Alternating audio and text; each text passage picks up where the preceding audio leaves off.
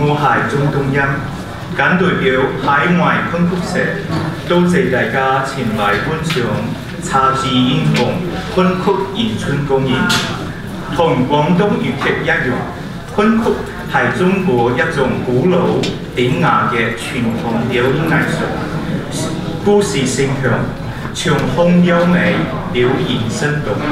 相信喜歡粵劇嘅觀眾一定亦會喜歡昆曲。今日嘅節目包括昆曲經典名曲嘅演唱及三出折子戲，節目內容豐富，演唱嘅曲目以林類群唱、獨唱、合唱等方式表現咗昆曲唔同風格嘅曲牌。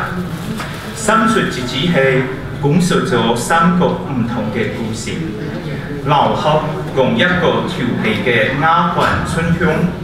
喺小姐杜麗娘上服侍搗亂嘅故事，透視講嘅係書生潘必正岩房道姑陳妙常，吐出佢哋詩作，兩人以詩四文。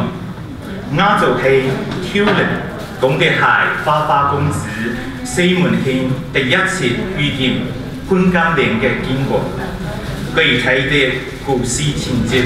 請大家睇節目嘅呢三出戏喺表演上各有特色，希望大家喜歡。